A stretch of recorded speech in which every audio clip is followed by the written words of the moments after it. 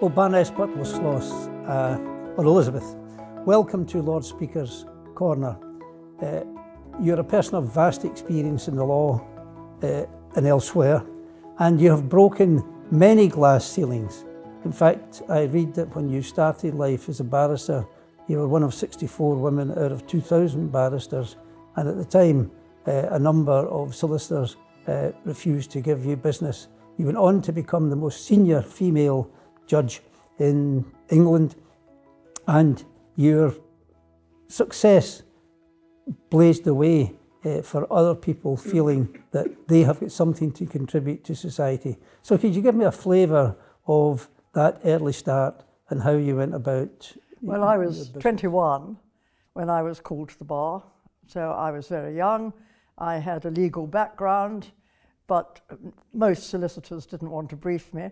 There was very little work at the bar at the time, and I eventually got a practice. And 15 years later, I was invited by the then president, one of my predecessors, would I please um, become what was then called a registrar at Somerset House? He wanted a married woman with children. I told him I was only 36, and he said, Oh dear, I told the Lord Chancellor you were 46. However, he still, they still took me. And I thought I wasn't going to get any uh, preferment because nobody had ever gone from the principal registry higher. But nine years later, I got made a High Court judge. And some years after that, I did the Cleveland Child Abuse Inquiry, and then I was the first woman in the Court of Appeal. And I kept my head down, Lord Speaker. I thought it was important that since I was there, I shouldn't make uh, waves so that they would want to appoint more women. But keeping your head down was accompanied by a real determination. Oh yes, exactly. And, and, of course, I was doing. I was a family lawyer, a family judge, and I had to learn about civil work and some crime, uh, and it was a testing period, but very, very interesting. Yeah. The Cleveland Abuse Inquiry. I was elected as an MP just about that time, and I remember the member of Parliament for Middlesbrough at that time uh, been very, very upset at the situation happening there. And if I remember correctly, about 121 children were taken into care over a period of three weeks or so. So it would seem, in retrospect, that the paediatricians and the social workers, uh, you know, were gripped by a narrative uh, which subsequently had to be really examined. And if I could try to sum up your philosophy for you at that time, you famously said, listen to the children. And in one case, I believe, uh, maybe not related to the Cleveland, you changed your judgment as a result of listening to a child. But that listening to the children, I think that's a fantastic philosophy. Well, where possible, sitting as a judge, I saw older children and certainly, I think in more than one case, the children, I mean, one child said to me, This is what I want. And I said, But you told the welfare officer you wanted something different. Oh, yes, she said, that didn't matter. I knew you were the person who mattered. This is what I really want. So I went back into court and said, Look, she's told me this. Uh, I, I will do what she says. It seems sensible. Yeah, and you've carried that philosophy through in your life, yes, listening certainly. to the children. I also tried to keep my judgments short. I tried to keep my interventions of the Lords short. I think people listen if you don't go on for too long. You have been very much in the vanguard of ensuring more women in the law. Now, we've come quite a distance uh, due to the work of yourself and others, but how much further have we got to go? And in light of your desire to listen to people and engage, uh, and particularly when you were a family judge, you know, how, do we go about our business in a better way?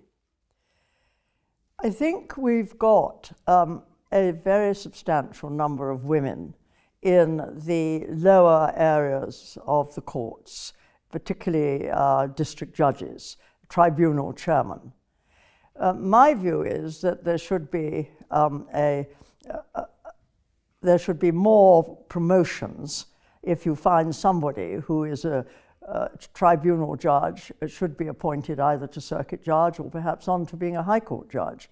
But I think there are people out there, a lot of women, but also minorities who ought to be encouraged back, perhaps in middle age.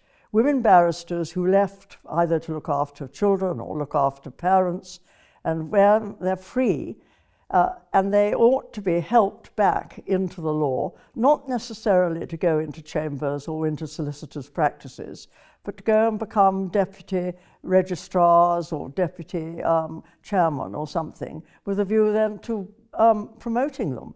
And now that judges at lower ranks can all be part time, I think there should be much more. There's a hidden talent there of the women.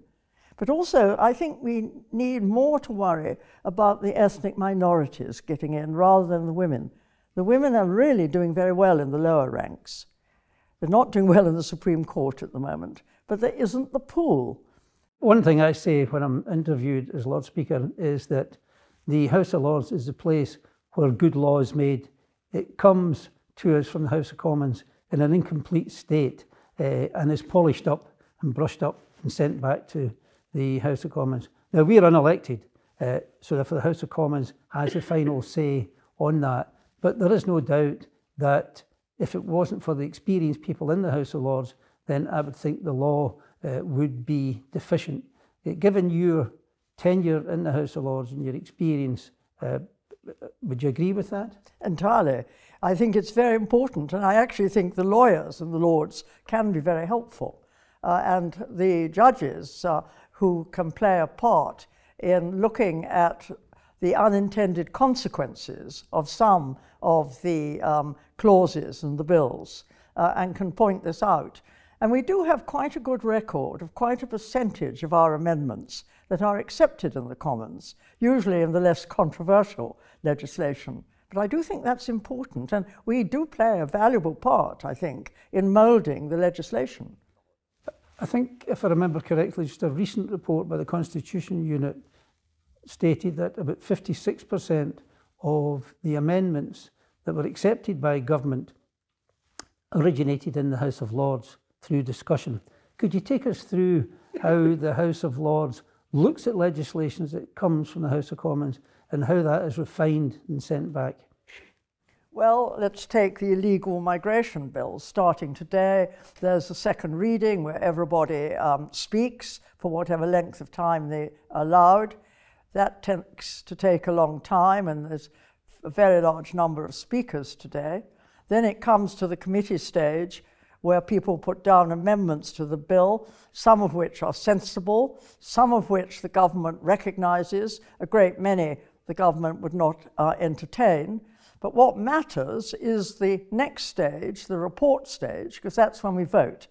Uh, as you know, Lord Speaker, we very, we very seldom vote at committee, but we vote very regularly uh, on um, at report. And interestingly, the government in many bills, particularly I remember the NHS bill some years ago, where most of the amendments came from the government because by the time it had left the Commons and come to the Lords, the government realised they had to make a very substantial number of changes.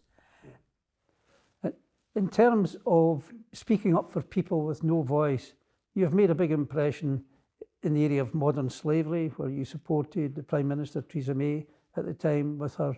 Uh, you, you have intervened in the adoption areas, you know, asking for more support for parents who adopt children, uh, not just at the time of adoption, but as they grow older, given that some of the traumatic experiences young adopted children have in early life, that they need support later on. And you're also very much involved in the area of human trafficking. Can you take us through that?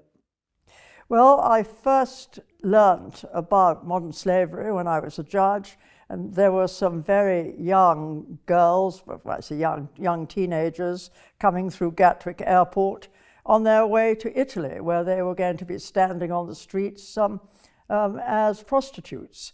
And uh, the, fortunately, the police stopped them, and the question was what to do with them. And some of those girls came through my hands. When I came here, Anthony Steen, then an MP, a Conservative MP for Totnes, uh, persuaded me to help him set up first the Human Trafficking Foundation, which is a charity, and then the uh, all party group on modern slavery. And he left the Commons, and successive uh, MPs have been the main chairman, but I've been the co chairman since its foundation. And we're going to Warsaw later next month to discuss um, with a number of countries surrounding Ukraine what our countries can do to help um, victims, and particularly children coming out of Ukraine. Yeah. The House of Lords gets in for a lot of criticism, as we know, but almost all second chambers in the world get criticised in one way or other. But would there be a loss if the House of Lords was an elected body? I have quite strong views about it. Um, I can see an element of election might satisfy many people.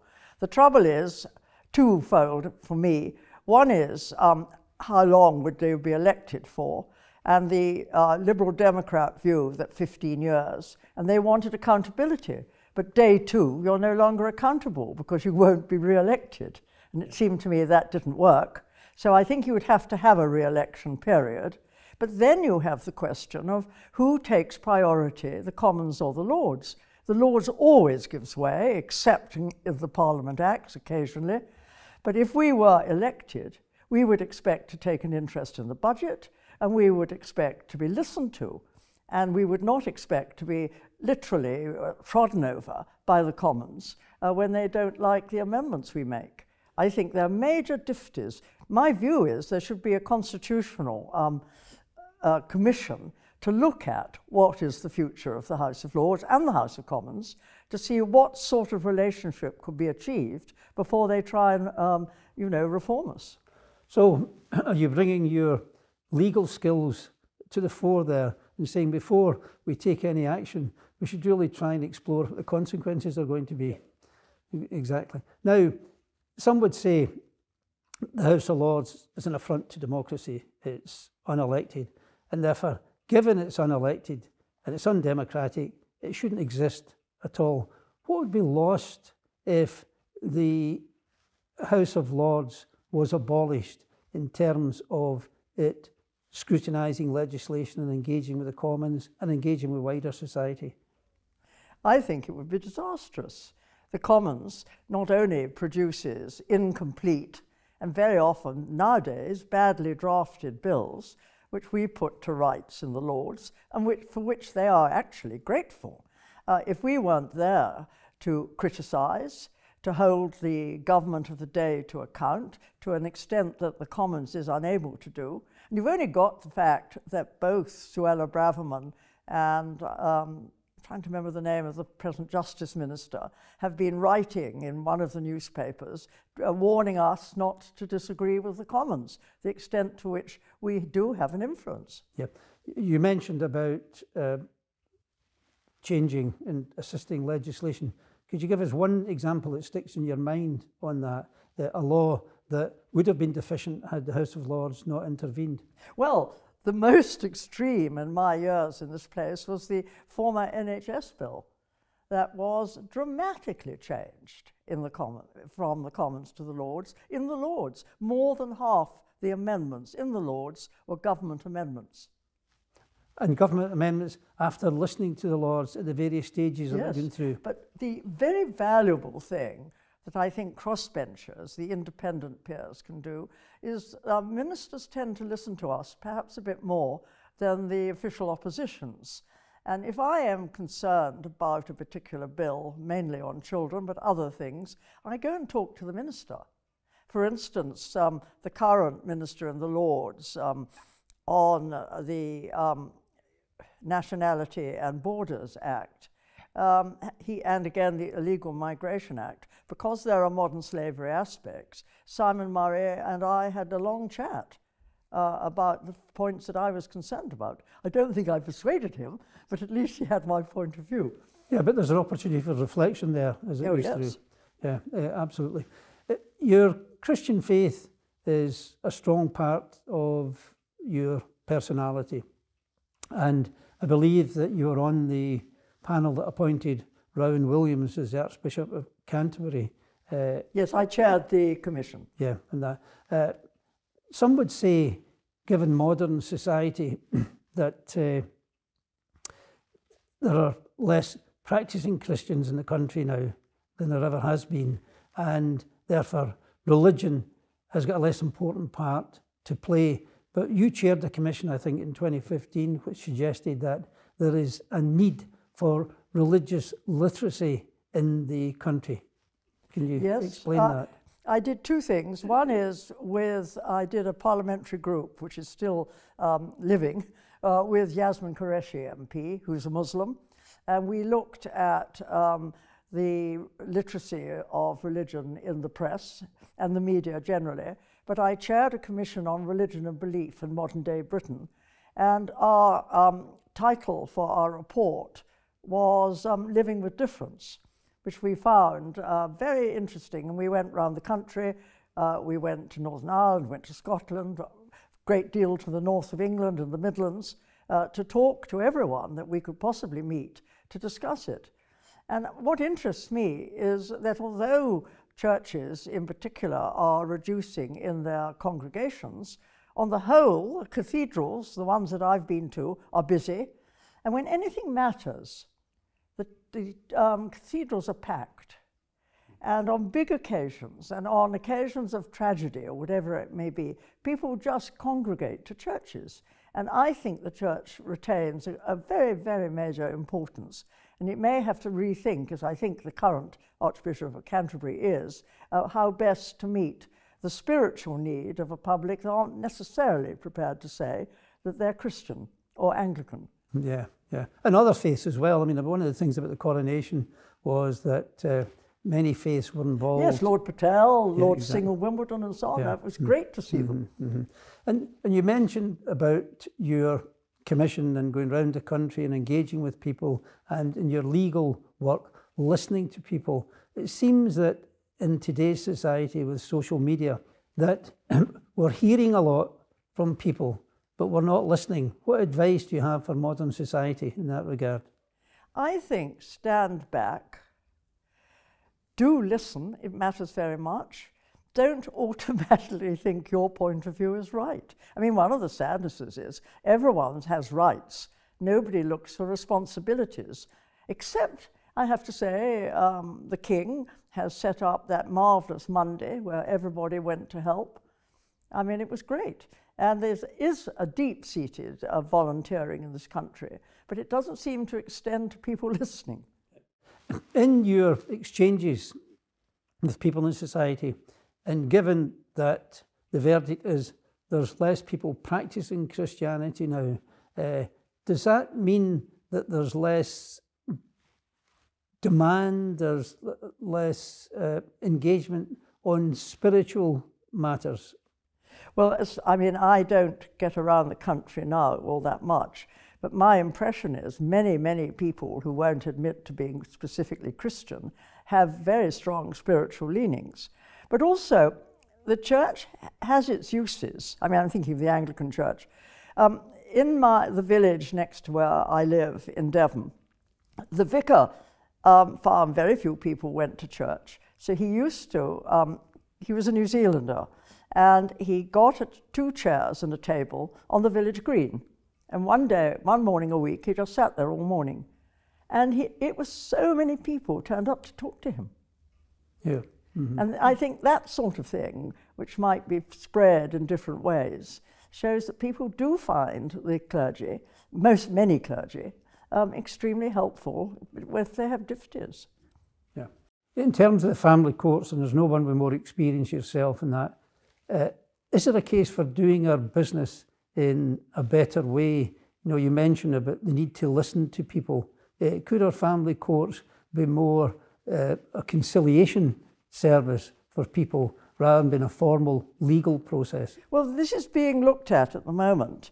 And I think that the mediation, conciliation area of divorce in particular, but also in separation, Oh, and obviously in, um, what do they call it, the, um, the, the non-divorce situation. I mean, they're all very much the same.